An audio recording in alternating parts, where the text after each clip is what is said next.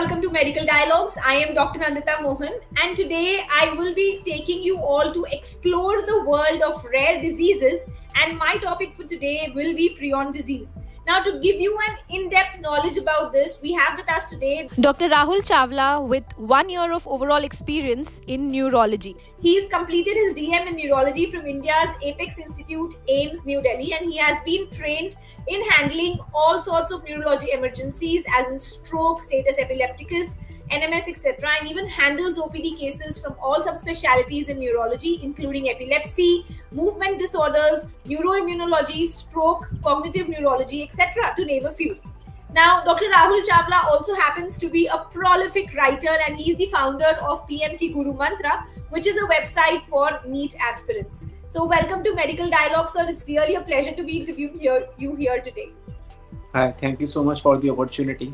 I'm really happy to share the stage with you and share my insights on prion disease. Great, great. Uh, thank you for joining us uh, again. So, primarily, sir, if I may start, can you describe what is prion disease and uh, how are they different from other neurodegenerative disorders? Now that we're talking about rare diseases, how is it considered to be a rare disease? Prion diseases are neurodegenerative diseases which are acute to subacute in onset and they are ultra rare like the incidence is reported to be 1 to 2 per million uh, in US population per year. And uh, they are spread through prions. Now these prions are something which are which is sort of a connecting link between a living and a non-living thing. So prions are not cells they are not uh, viruses or bacteria.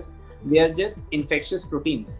So prion means uh, proteinaceous infect, uh, in, uh, infectious particles so these uh, infective proteins they were first discovered uh, by uh, uh various scientists, including uh, Stanley Prusiner, who described the prions. And some cases uh, of the prion diseases were discovered, were seen and reported by Creutzfeldt and Jakob, after whom the uh, Creutzfeldt-Jakob disease is named. So these prion diseases are ultra rare. They are universally fatal. the mortality is 100%, and there is no cure and they are rapidly progressing. Uh, great, that's a very uh, specific explanation of why is it considered to be a rare form. Uh, now, if we discuss this in a little detail, if you can tell us the most common forms of uh, prion diseases in humans and uh, what are their typical clinical presentations? So, prion diseases are transmitted uh, due to various you know, modalities. Most of them are sporadic, that which are 80 to 85 percent.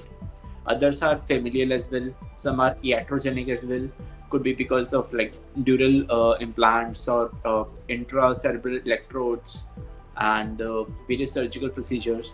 Some are uh, like variant CJD, which spreads through uh, having contaminated uh, beef, the beef of the cattle who might have had bovine spongiform encephalopathy, which is a sort of a you know prion disease. there, there is there was a there is one more disease known as Kuru, which was uh, found to be uh, uh, prevalent in tribe in Papua New Guinea, and it was due to the consumption of human infected infected human brain. So the cannibalistic ritual that was prevalent in that tribe that led uh, to the Kuru disease, and when it was discovered, the practice was banned. So all are the these all are the transmission modalities of prion diseases. And uh, when we talk about prion, we mainly talk about the human form of uh, prion disease, which is CJD, and in the CJD, sporadic form of CJD, which is most commonly seen. So when we talk about sporadic form of CJD, it is commonly seen between the age group of 55 to 65 years of age, and uh, it mainly presents with rapidly progressive dementia. The patients present to us with neuropsychiatric manifestations, as in memory decline, behavioral abnormalities. Besides, patient have some cerebellar symptoms like ataxia, nystagmus.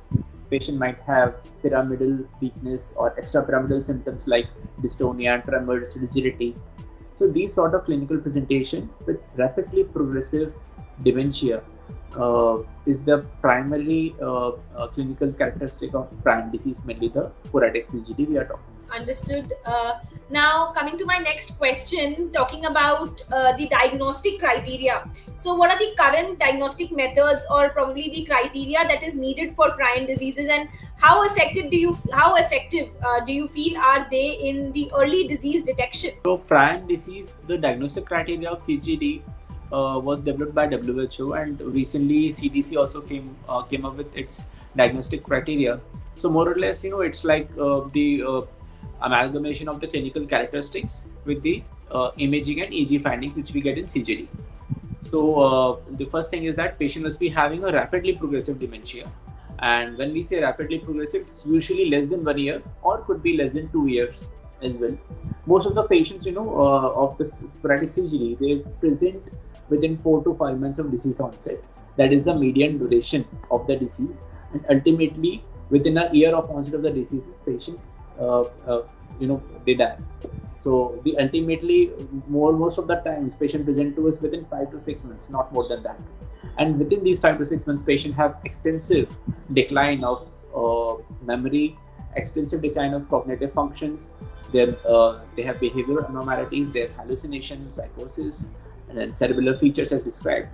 So such patients presenting to us with rapidly progressive dementia and having two or more of the uh, following uh, in, uh, important clinical symptoms, as in pyramidal weakness or cerebellar symptoms or myoclonus. Myoclonus is very characteristic finding of CJD patients, and or extrapyramidal symptoms like rigidity, uh, like rigidity or dystonia, as described. So apart from that, the patient must be having a specific findings on MRI and EEG. So in MRI, what we see is that uh, if it's sporadic, uh, if it's sporadic CJD, there is a cortical ribboning sign that is very characteristic of uh, CJD, or there is basal ganglia uh, hyperdensities. And on EEG, we get very characteristic periodic sharp wave complexes.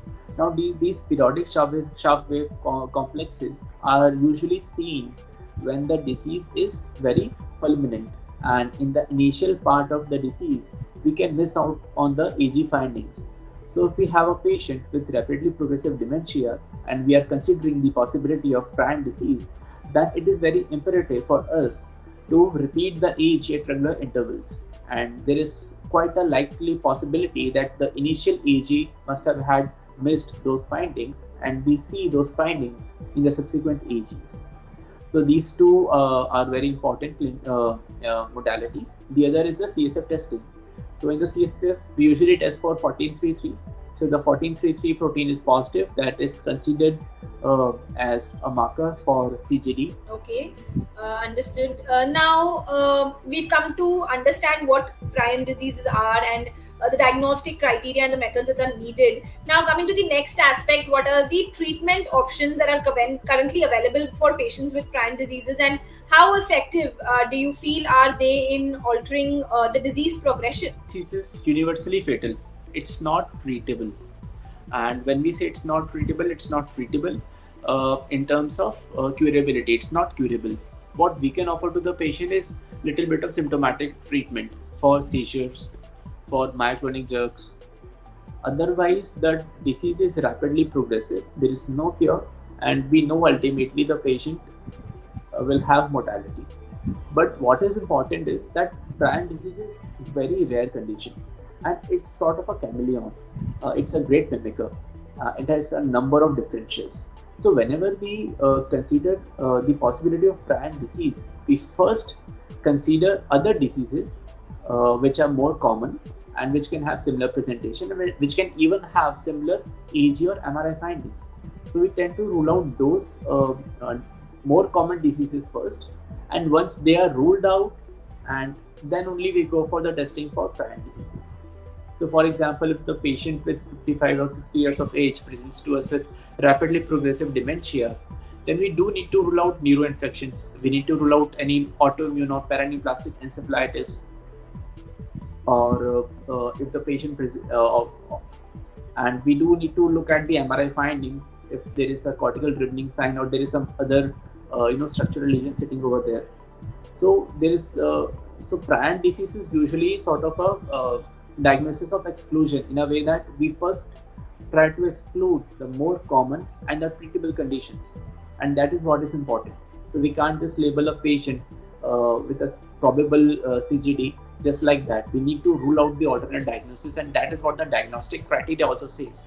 The diagnostic criteria mentions very clearly that all the alternate diagnoses have been ruled out and that means we have worked up for other etiologies. Okay, uh, sir, you I just got a word. You just mentioned that prion diseases are often fatal and they have no cure. It's not treatable.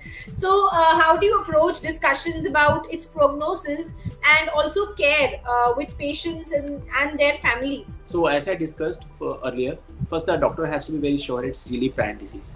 When we say the prion disease, we actually rule out the alternative uh, diagnosis and we have sent uh, you know marker for prion disease as in 1433 and we have got those periodic discharges in the AG. Uh, clinically, patient fits into the diagnosis of prion disease. MRI also suggests so. When all of it fits in, then we sort of confront the patient's family members. Then that see these is uh, these are all our possibilities. We try to evaluate uh, extensively. We try to rule out other differentials, and this is what uh, we believe that the patient is having prion disease which is incurable. And uh, it's very important to mention uh, the family members that we have tried our best in terms of ruling out other disorders. And we should not label any uh, with we should not label the patient as having prion disease without any extensive workup because uh, there is no definitive test. The 1433 uh, uh, that we do doesn't have that much of a specificity. The specificity is somewhere around uh, 65 to 75 percent. So we can't just label the patient just like that without doing adequate workup for differentials. So that is the first aspect. The second aspect is to let them know that the, about the transmissibility of this disease. So uh, it's not uh, uh, very common for the disease to get transmitted uh, through the route of fomites and all, but the due precaution has to be taken uh, while handling a patient with uh, disease because they are known to um, transmit through surgical procedure. And uh, the transmission through blood route is very controversial. Still every every uh, you know precaution has to be taken while handling those patients because of the fatality of the disease. And they have to be strictly uh, you know uh, they have to be counseled regarding the outcome and what that there is no treatment available and also about the symptomatic treatment uh, as in uh, adding medication to relieve the pain, adding medication to maintain the sleep hygiene, to uh, uh, adding medications to improve the behavior of the patient, to improve the myoclonus or seizure. So whatever you can do for the patient, that has to be done. Yes, uh, very true, very correctly said. Now, um, now we're talking about the treatment aspect uh, that we were discussing earlier. So, uh, what according to you are the challenges in developing effective treatments, or even if I talk about vaccines uh, for prion diseases? Prion is a is a very uh, uh, different kind of. it's not an organism. It's just a protein lying somewhere and uh, what it is that the protein uh, uh, has some specific characteristics. So whenever the protein gets infected with the with the prion which is actually a protein so what it does that it tends to make each and every protein around uh, in the organism infected so uh, if a prion disease comes in contact with the surrounding proteins, it makes all the other protein uh, protein molecules prion proteins. Now these prion proteins have some conformational changes. So they have more of beta uh, pleated structure than the alpha helix structure, due to which the conformation of the protein molecule changes and its function is affected. When the function of the protein molecule gets affected, this protein molecule leads to the uh, breakdown of the normal machinery of the cell, due to which vital functions are affected. And ultimately, it all leads to neurodegeneration, and all of it happens at a rapid, staggering rate. Now, uh, when we imagine a, a person having, uh, you know, a disease, we either believe that it is a neurodegenerative disease which is non-infective, or we believe it is infective now, this particular disease lies somewhere between the two. It's sort of an infective, but it is not infective in a way that it is not caused by any organism. Okay, it's not a cell, it's not a virus, it's not a bacteria, it's just a protein. So, what do we do? So maybe if we try to make a vaccine against that, that is a theoretical possibility. There have been trials regarding the vaccination for prion proteins, but we have not got any breakthrough in this regard. But the uh, trials are on, undergoing. Then there is the other approach is immunomodulation. So um, uh, there, is, there was a trial for a monoclonal antibody against the prion protein. So again, they have not got any breakthrough in that as well, but it's all in the trial staging. Because it's a protein, it's very difficult to make anything against that that works uh, because it does not follow uh, many of the rules of uh, uh, being a virus or being a bacterium and when we do something against the protein uh, because it, it does not even have any genetic material of its own. It's just a protein. So it's very difficult to uh, get through that. And although the trials are ongoing none of them have shown any sort of promising results as of now. So they tried for many antibiotics, they tried flupirtine, they tried uh, monoclonal antibodies, even anti-ASOs, uh, uh micRNAs, but nothing has resulted in any uh, any uh, reduction in the mortality or prolongation of survival as of now. Great thank you. Thank you dr rahul for joining us today at medical dialogues and uh, giving us all the valuable insights about prion diseases and how it is a rare disease and uh, one should get to know about it and neurologists specifically. As you mentioned there are certain diagnostic criteria that one can follow to come to a diagnosis for an early detection and prompt treatment for, to be provided for it. So uh, thank you for giving us all your insights on the disease and uh, thank you for joining us today at medical dialogues. Thank you so much. Thank you for having me here Never miss a medical update from Medical Dialogues. Like, subscribe, and press the bell icon.